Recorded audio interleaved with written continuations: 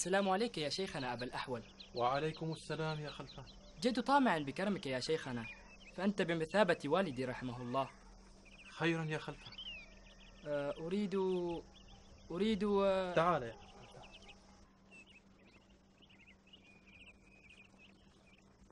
خيرا يا ولدي. أرجو أن تخطب لي ابنة سليمان بن محمد فأخشى أن يرفضوني. وما الذي يعيبك؟ الفقر يا شيخنا القاضي. الفقر. الفقر ليس عيبا إنما العيب في الإنسان عين. وأنت شاب مؤمن صالح. اطمئن يا ولدي سيأتيك جوابي عاجلا. بارك الله فيك يا شيخنا القاضي. في أمان الله. في أمان الله. أما زلت هنا يا شيخ؟ لقد أطلت الدعاء في المسجد يا محمد. الحمد لله. تقبل الله. منا ومنكم صالح الأعمال إن شاء الله. زمان التصابي واختيالي للهو قضى بتقضيه تكدير ذي الصفو. لقد كان عمري يوم دجن وقد نضى له الصب أضحى إذا غدا اليوم ذا صفو. مضى بوصال الغيد إذ كان جوهرا لنفسي فقد أصبحت ذا جسد نضوي. وغانية أضنت فؤادي بهجرها وقد طالما كانت له بالرضا تروي. إذا حضرت عهدا وأبدت جبينها لدى الناس كانت فتنة الحضر والبدو. صفت لي أيام الصبا فنضوتها بها حلوة ما إن إلى غيرها صفوي. فلما انقضت ولت فما بعدها سوى. نوال سمي المصطفى قد نحى نحوي. محمد من للضيف وسع للقرى ومن لقرى الأعداء كسر في الغزو. حوى قصبات السبق في الفضل ماشيا لها وسواه أجهد النفس في العدو. فأصبح مما نال ذا صحة ومن قلاه من الأين الذي نال ذا ربوي لا فض فوك يا أبا حميد. لا فض فوك يا سالم بن محمد الدرمكي يا أبا الأحول. تعلم كم أحبك في الله يا محمد وتعلم أن قولي الشعر فيك لم يكن وليد اللحظة. أعلم ذلك أيها الشيخ القاضي. ولكن ما مناسبة ما قلته في من الشعر؟ أنا أقول فيك الشعر بمناسبة وبغير مناسبة. إذا هذه الأبيات ليس لها مناسبة. بل لها مناسبة يا صديقي الحميد. أه، وما هي مناسبتها يا أبا حميد؟ أريدك أن تأتي معي الليلة لخطبة فتاة للشاب الذي رأيته معي في المسجد. كنت أظن أنك أنت من يريد أن يتزوج أيها الشيخ القاضي.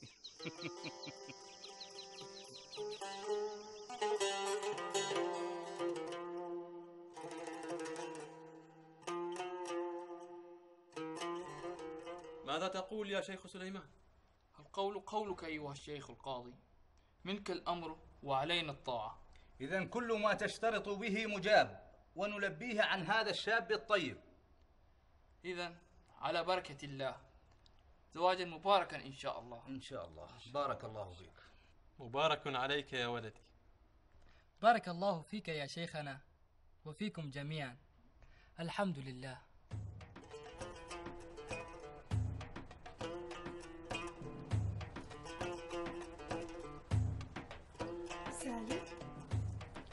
ما الذي أيقظك يا أم حميد؟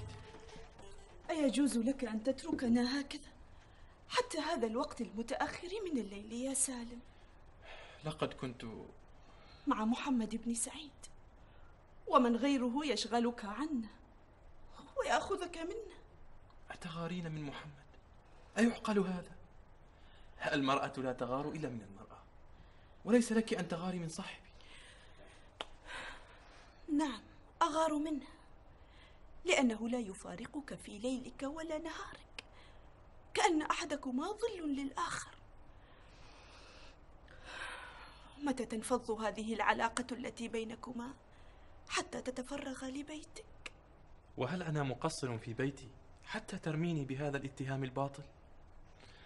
أتعلمين ما عقوبة من يتهم أحدا زورا؟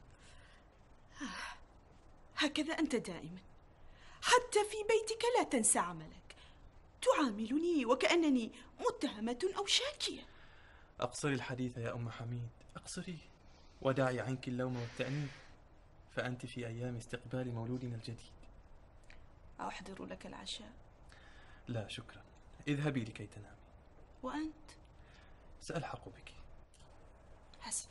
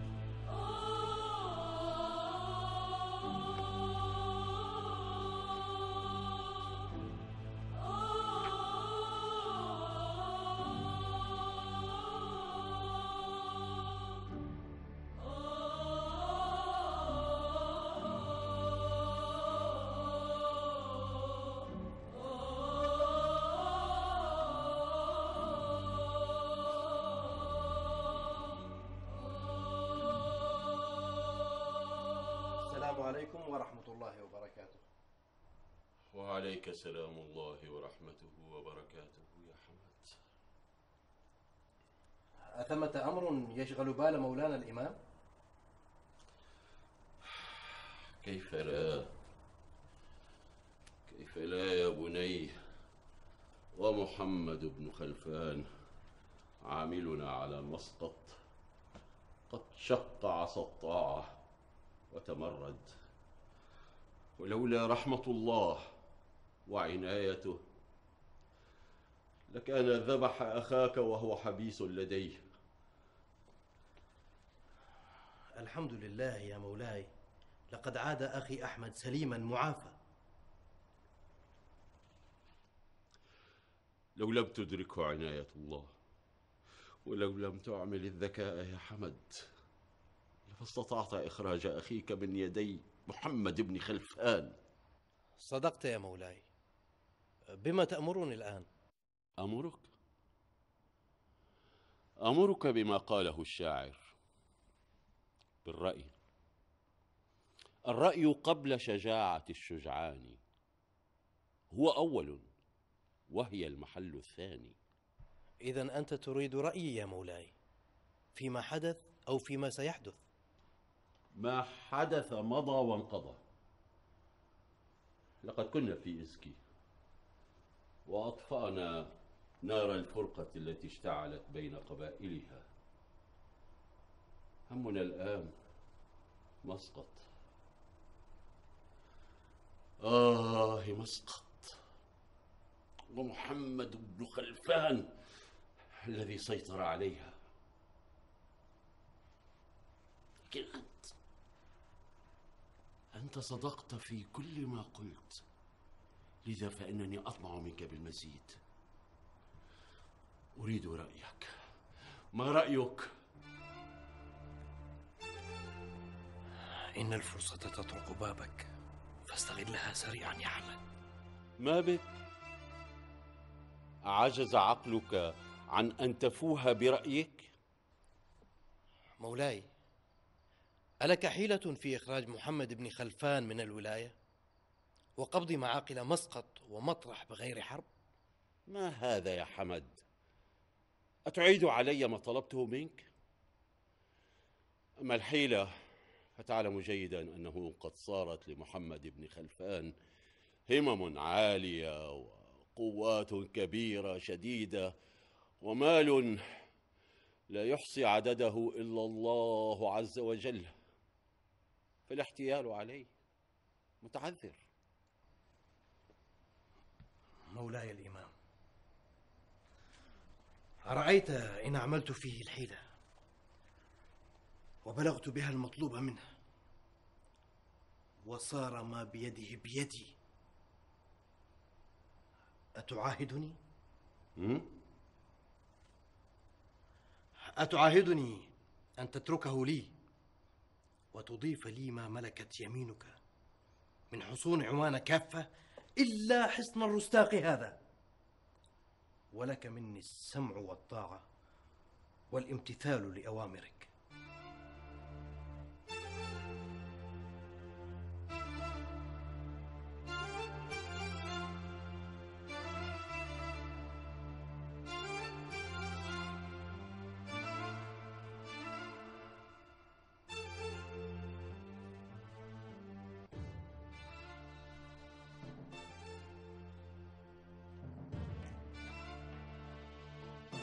دعني.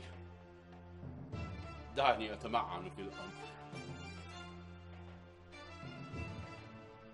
لك الأمر وعلينا الطاعة يا مولاي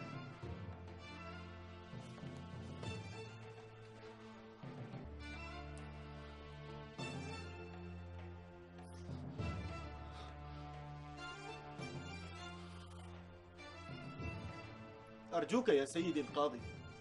أرجوك أن تجد لي مخرجا فأنا لا أريد أن أضيع أبنائي أريد زوجتي أريد أسرتي أرجوك يا سيدي أتريدني أن أتطاول على شرع الله؟ أين كنت قبل أن تطلق زوجتك ثلاثا؟ أما فكرت فيما ستؤول إليه حالك وحال أسرتك؟ الآن تطلب النجدة وترجو أن أجد لك مخرجا لا يا بني لا تلاعب في الدين ولكن يا سيدي لا داعي لكثرة الكلام. الطلاق أبغض الحلال عند الله وقد وقعت فيه ثلاثا ولم تأخذ حذرك فما عاد يهدي الندم شيئا. خذ ابنتك وطفلتيها أيها الشيخ فالحق أبلج.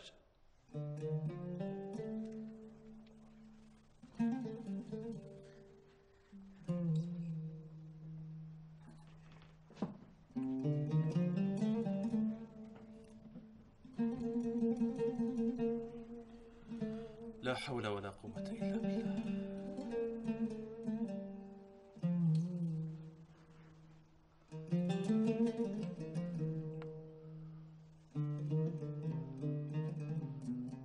تنتظر جواب ما طلبته مني أليس كذلك؟ ومن حق مولاي أن لا يجيبني على طلبي إذا شاء ذلك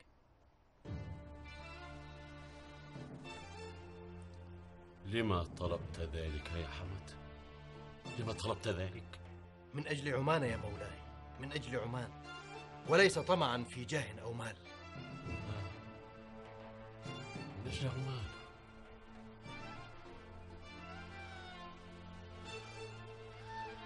من أجل عمان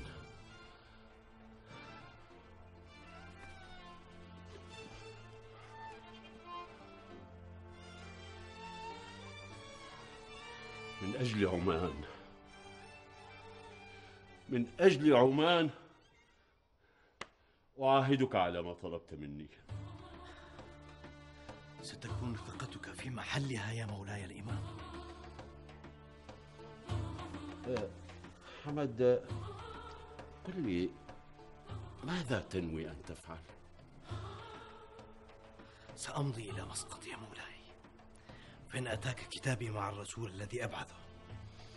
أسرع الوثبة إلى مسقط ومن معك من الرجال. ستمضي إلى مسقط بمفردك؟ بل مع مئة رجل وبعض المال لإنجاز خطتي.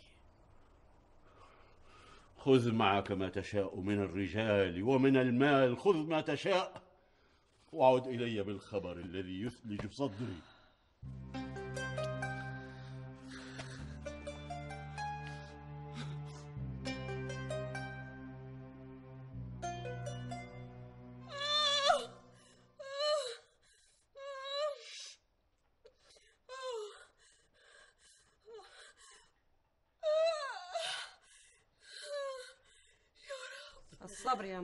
الصبر.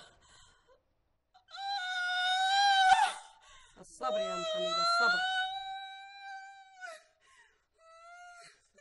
بل نعم نعم تلك سرقة.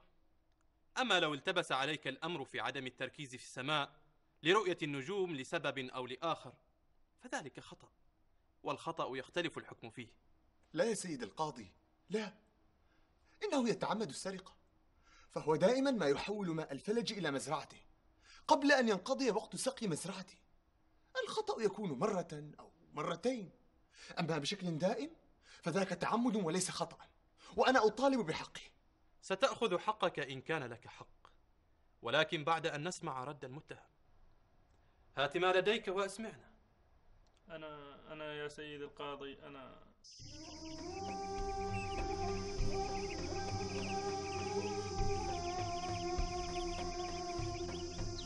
لقد كان هذا اليوم حافلا بالعديد من القضايا.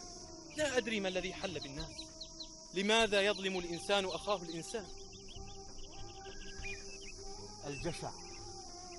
الجشع والطمع يفرقان بين الناس يا أبا القضاء. أبو القضاء من أين جئتني بهذا اللقب يا محمد بن سعيد؟ ألا يكفي ما ينعتني به الناس في كل مكان؟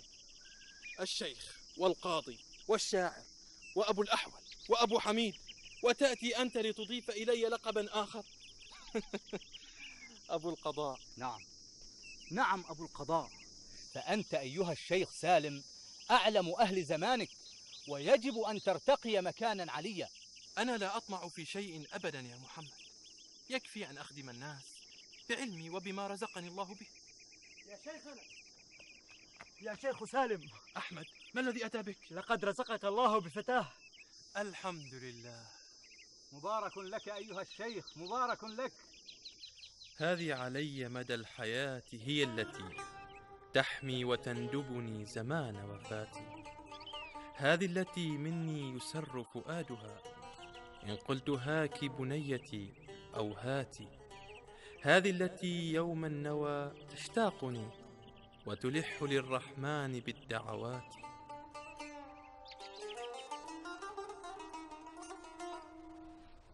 حمدا لله على سلامتك يا أم حميد. سلمك الله.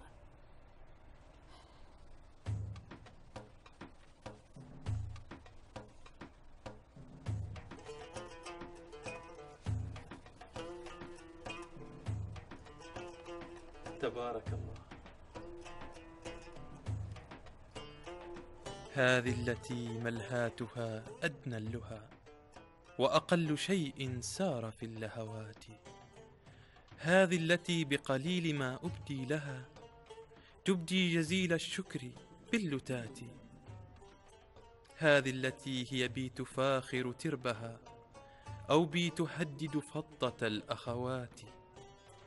هذه التي جدا إذا لعبت ترى تثني علي بأرفع الأصوات.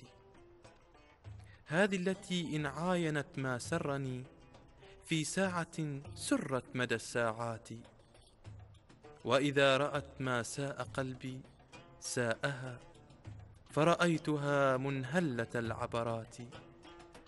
لو أن ربي قال لي ما شئت قل تعطى لقلت تطيل عمر بناتي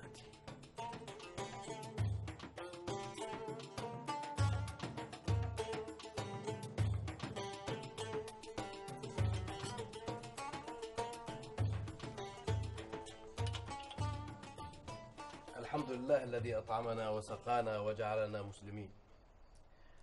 لقد تناولنا من طيب طعامكم فجزاكم الله عنا خير الجزاء. هذا غيض من فيض الإمام عزه الله. لأجل هذا الغيض جئت يا أخي العزيز محمد لنجعل الغيض فيضا والفيض فيوضا. ما أظنك إلا أتيت لنا بالخير أيها السيد حمد.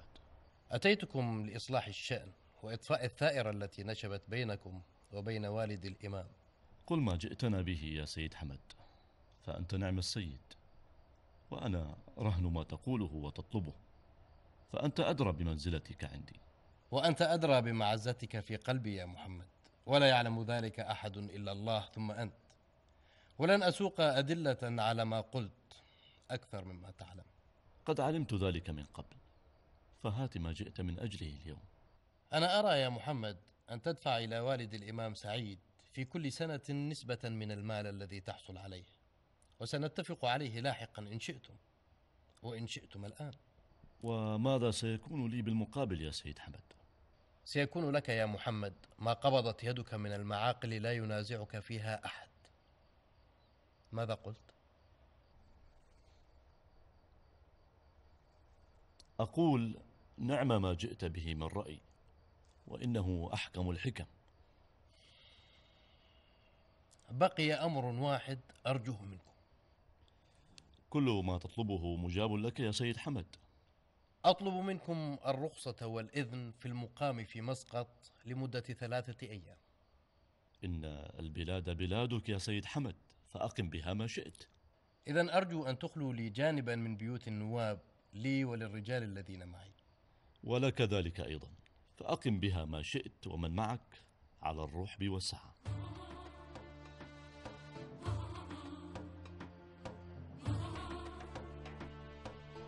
لن أطيل عليكم. سننقسم إلى قسمين. خمسون رجلا سيأتون معي الآن. والآخرون سينتظرون مع القائد سالم. ولا تتحركوا حتى تتلقوا أوامري. هيا!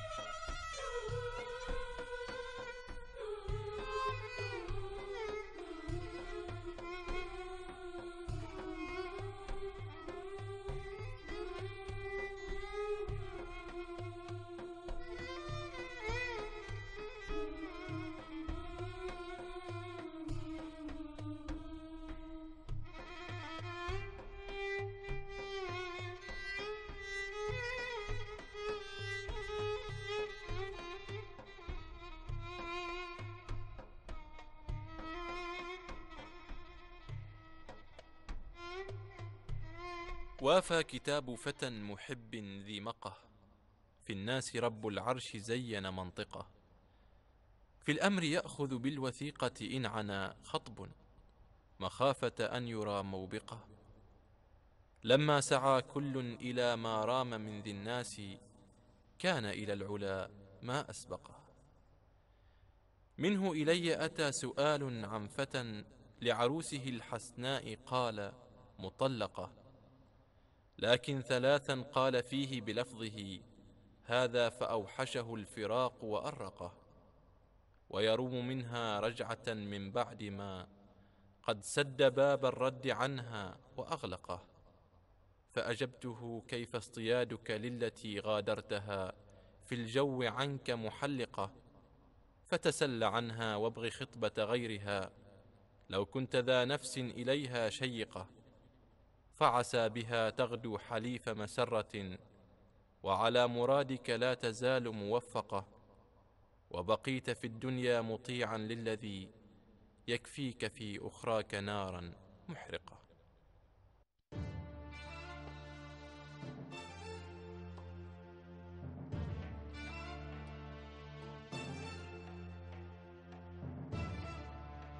أيها الحارس تعال أمرك يا مولاي؟ لم يصل رسول من مسقط. يحمل رسالة من السيد حمد. لا يا مولاي لم يصل أي رسول بعد. انصرف إلى عملك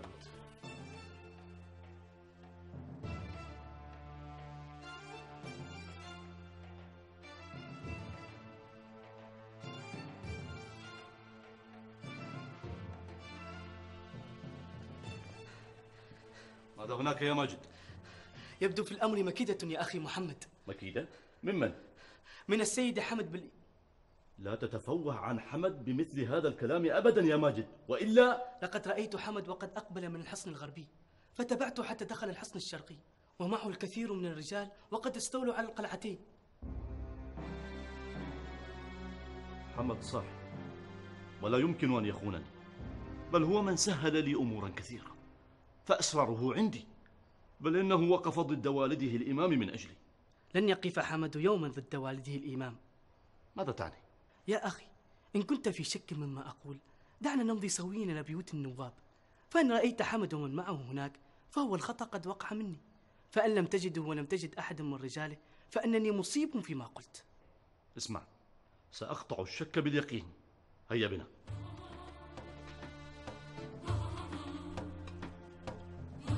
أين ذهبت الرجال؟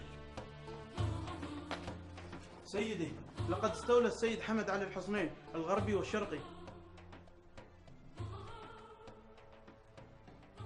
كيف خانني أمير الجندي هناك؟ يبدو أنه اشتراهم بالمال يا أخي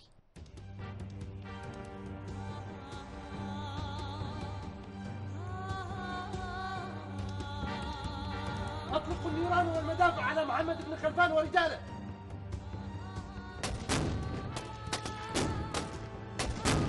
تعال يا هذا. من رسولي إلى الإمام في الرستاق. وقل له أسرع الوثب إلى مسقط. أنت ومن معك من الرجال. فإن الحرب سجال واطوي الليل في النهار في مسيرك إليه. هيا!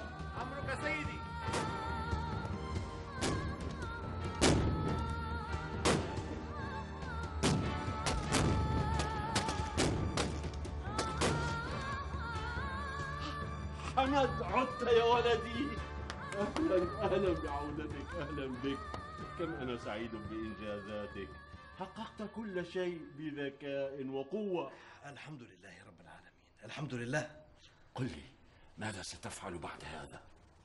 سأقيم في بركة وسأقرب مني علماء وأدباء وشعراء عمان. تفكير جيد سيكونون لك عونا وسندا. إن شاء الله. اسمع أعددت لك حفل استقبال يليق بإنجازاتك. هيا يا ولدي هيا. مولاي الإمام حمد بن سعيد يطلب منك أن توافيه إلى بركاء في أسرع وقت يا سيد الشيخ سالم. بأمر مولاي الإمام سأذهب إلى بركاء في الحال.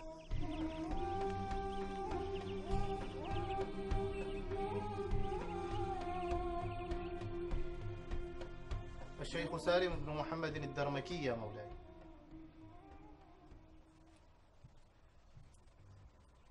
السلام عليكم ورحمة الله وبركاته. وعليك السلام ورحمة الله وبركاته.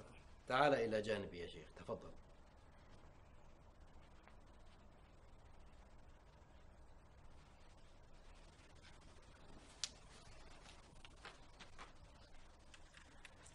يا شيخ سالم إني أفوض لك أمر الكتابة بين المسلمين والأحكام الشرعية. هنا في بركاء فباشر عملك فيها منذ اليوم. أمرك مولاي.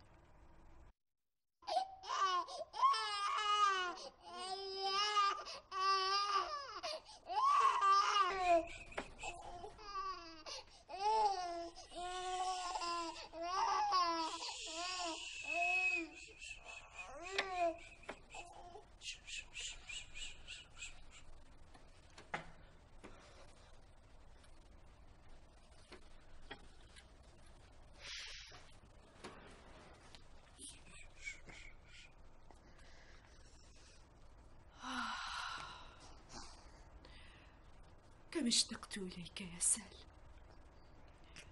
متى ستأتي لتزورنا؟ متى؟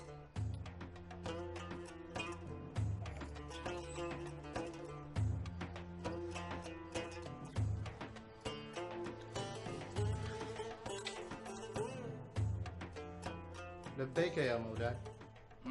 ما الأمر؟ لقد جهز بيت الشيخ سالم بن محمد الدرمكي. الذي أمرت ببنائه يا مولاي. جميل جميل. أريد أن يبقى هذا الأمر مثل ما كان من قبل في طي الكتمان دون أن يعرف الشيخ سالم أي شيء. وهو كذلك. اذهب الآن في قافلة إلى إزكي وأتي بأسرة الشيخ سالم الدرمكي وأخبر الأسرة أن الشيخ سالم هو الذي أرسل في طلبهم. لأننا نريد أن نخفف عنه أمر اشتياقه لأسرته. هيا. أمرك مولاي.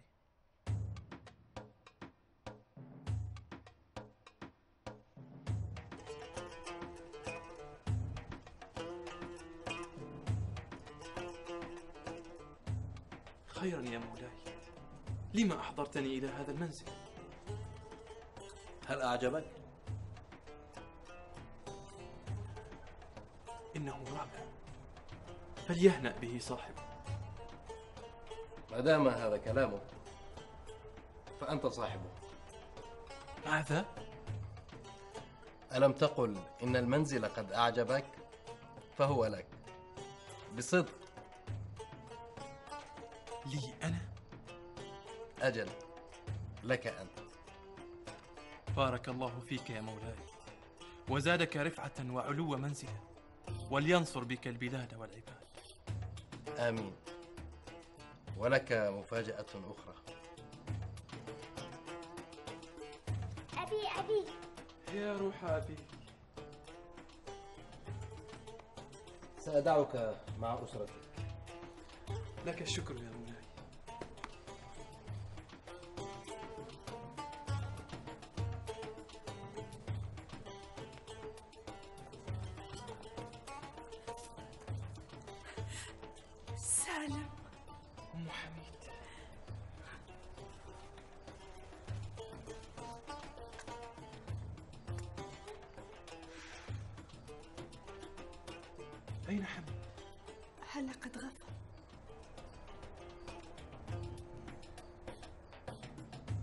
بين بابي عين سعنة واليمن سوق تباع به القلوب بلا ثمن. تجروا بما احتكروا به وتحكموا فجواب من يستام منهم لا ولن. المسك من أبدانهم والعود من أردانهم والزعفران من الوجن. ومورد الوجنات سن لي الجفا منه فأحرم مقلتي طيب الوسن. شاكي السلاح فكم بسيف لحاضه ضرب الحشا وبرمح قامته طعن. ولو أن روحي في الدنو بروحه مزج الوداد له به القلب اطمأن. يا شقوة القلب الذي يا شقوة القلب الذي بالطل لا يروى ولا بالوبل جامحه سكن. حمد الذي حمدت جميع خصاله فحلت به للخلق أخلاق الزمن. ذو منزل من زاره سلاه عن ذكر المعاهد والحنين إلى الوطن. يسخو فلم يفتح له راج فمن ويرى إذا هو ما سخى جودا كمن. لثراه لم يك كالئا عنا ولا إن جاد كال لنا نداه ولا وزن. للناس ظاهره وباطنه صفا وأطاع في السر الإله وفي العلن. فليسعى حيث أراد إن زمانه سلس القياد له وفي يده الرسن. وليبق محروسا ويملأ لي ندى ما بين بابي عين سعنة واليمن.